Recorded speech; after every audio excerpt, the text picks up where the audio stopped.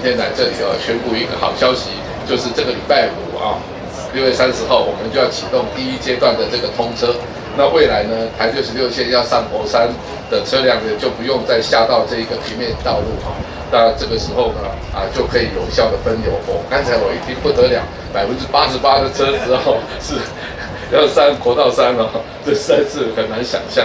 那这也表示说，我们桃园市哦，在近年来都有很好的发展哈。那呃，从这个呃，郑文灿市长哈，他的努力破化之下呢，实在是发展的很好。不管是呃航空城也好，或者是亚洲戏谷，还有各种轨道建设，都是逐步的到位。那当然，城市的风貌就有完全的改变。那人口呢，就如同刚才苏副市长讲的哦，创下了历史新高哦，现在还在增加。那近年来，这个桃园的观光也有很好的发展。那实际上，这个大溪老街呢，每年都有百万人去参观哦，所以要到大溪的人，呃，又会面临到这个交通的问题哈。所以大溪交流道啊，能够来做很好的这样的呃建设呢，我相信对于观光也有很大的帮助。